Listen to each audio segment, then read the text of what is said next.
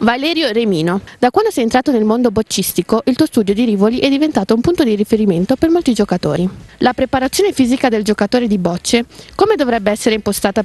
E la preparazione fisica è importante in tutti i sport ed è importante anche nel gioco delle bocce fare attività all'aperto oppure fare dell'attività al chiuso che può essere il nuoto, può essere la palestra è importante e determinante. Se uno non riesce a concepire eh, questo, questa preparazione, un'altra cosa importante è quella del recupero e il recupero avviene solamente facendo, eh, sottoponendosi a delle sedute di massaggio, giocatore di bocce è impegnato nel, nel, proprio, nel, nel, stare tante ore in piedi, quindi a usare molto i muscoli a livello isometrico e quindi il consiglio che do, non perché voglio tirare l'acqua al mio mulino, ma perché tutti quelli che si sottopongono a sedute di massaggio poi ne trovano sempre giovamento. Nello studio di Rivoli avete il servizio di pedicure? Sì, abbiamo un servizio di pedicure curativo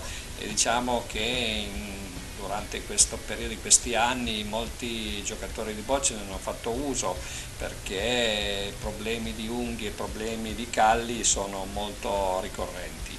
E ci avvaliamo anche della collaborazione di medici specifici, specialisti proprio per il trattamento delle unghie.